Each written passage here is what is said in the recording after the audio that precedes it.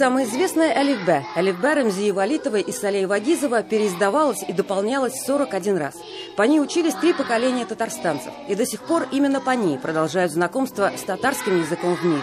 За все эти годы Алифбе сменила обложку лишь трижды, и каждая из них – это отражение истории страны и республики.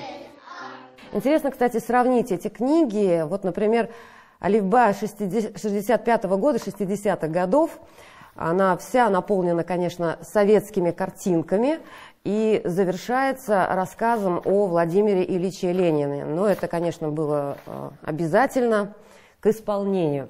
Алибе 80-х а, также наполнена, конечно, еще советскими картинками, но завершается она уже стихами Габдулы Тукая, Мусы Джалили и рассказом Галимжана Ибрагимова. Алибе 90-х начинается с обращения первого президента Татарстана Ментимира Шаймиева, а завершается стихотворением Разиля Валеева. Многие поколения помнят этот синий учебник с девочкой в форме и с букетом цветов. Синяя Элифбе самая популярная. Ее переиздают до сих пор, хотя в текстах и рисунках уже давно нет связи с современностью. Саляга, siz Элифаны күп еллардан бирле язасыз бит инде. Ничә ел булды? 25 жыл болды енді. Супруги Рамзия Валитова и Салей Вагизов за все свои научные труды стали лауреатами премии Каюма Насыри. Татарская азбука Алифбе – главный совместный труд супругов. Они познакомились в Казанском пединституте, поженились в 1937 году, приехали работать в Варский педагогический колледж. Затем Салей Вагизов ушел на фронт, попал в фашистский плен. После освобождения на 10 лет был отправлен в сталинские лагеря. Чтобы выжить с двумя детьми, супруге пришлось взять свою девичью фамилию – Валитова. Через 10 лет Салей Вагизов приезжает в Арск, но на прежнюю работу его не берут. А он э, пять лет э, работал на э, разных тяжелых работах. Но вот судьба улыбнулась таким образом. Его ученик, который его учил до войны, он уже стал зафрано. И вот он на свой риск и страх его восстановил в педучилище. Сельские учителя прекрасно понимали, каким должен быть первый учебник по татарскому языку. Не скучный, не сложный, простой в изучении для всех, кто начинает узнавать и познавать богатство языка Тукая. И в 1965 году супруги создали самый популярный букварь на татарском языке.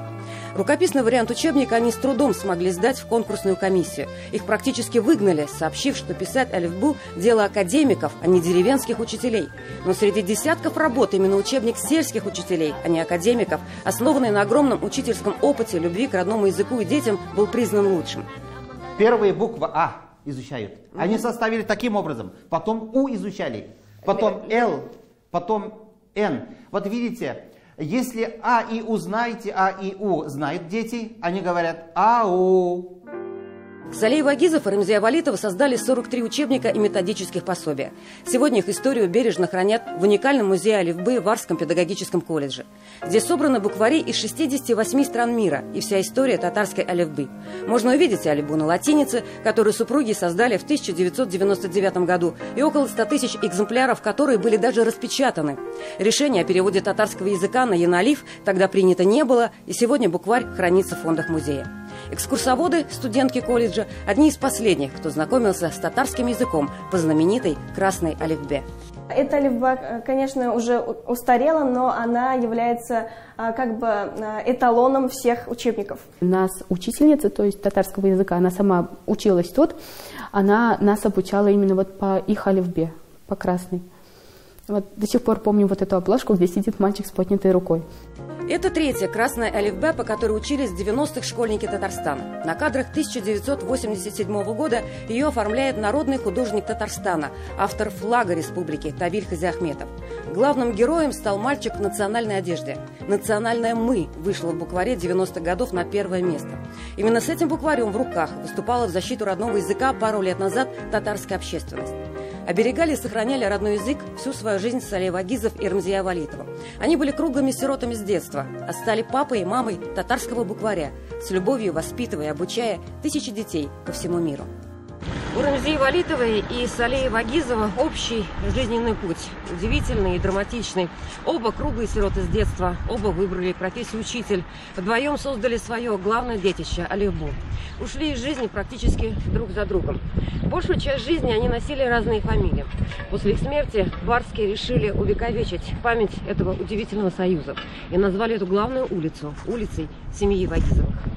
И здесь же, на улице Вагизовых, еще один уникальный союз памяти, рожденный в Арском районе. Алифбы – символа татарского языка, и Габдулы Тукая – символа татарского народа. Светлана Спирина, Андрей Ключников. Семь дней.